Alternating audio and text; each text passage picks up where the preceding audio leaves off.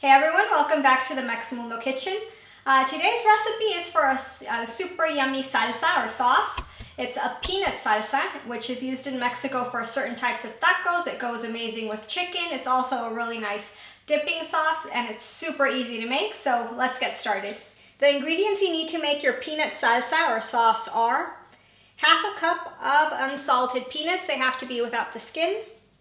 Two tomatoes, a quarter of an onion, two garlic cloves, 10 árbol peppers, dried ones, about two to three tablespoons of, of, of cooking oil, frying oil, a pinch of oregano, uh, salt to taste, and about three to four tablespoons of water.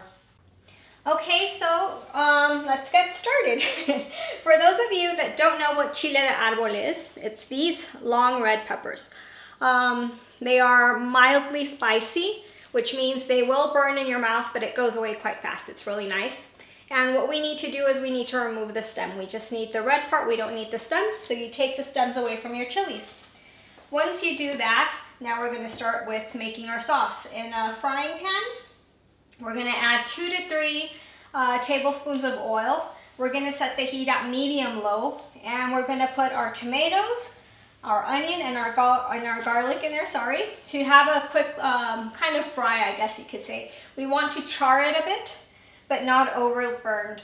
Um, once it has those nice black patches on, on the veggies that we put in here, you take them out. And in there, you're going to add your árbol peppers without the stems and the peanuts. Be very careful with your árbol peppers because chili peppers, if they get burned, they get bitter and that will ruin your sauce. So this is just a really quick frying um, a matter of seconds practically. You take those out, the peanuts and the árbol peppers, and here comes the super easy part for making the sauce. You already fried all your ingredients, and now we're going to put them in the blender. So what you do is, in your blender, you add your tomatoes, your onion, your garlic, your árbol peppers, um, your peanuts, a pinch of oregano, salt to taste, and I'm gonna put about four tablespoons of water. This is a thick salsa, it's not thin, so um, if you guys don't like it thick, you can always add more water, but the suggested amount I give you guys is four tablespoons. Okay, so our, our salsa or sauce is done. As you saw, it's super, super easy. Um, just uh, a thing, I, I suggest 10 chilies. That's how I give you the recipe. If you guys want to put many more chilies, 20, 30, 40, as many as you want, you can add as many as you want and if you want to put less that's also an option. The heat is completely up to you guys.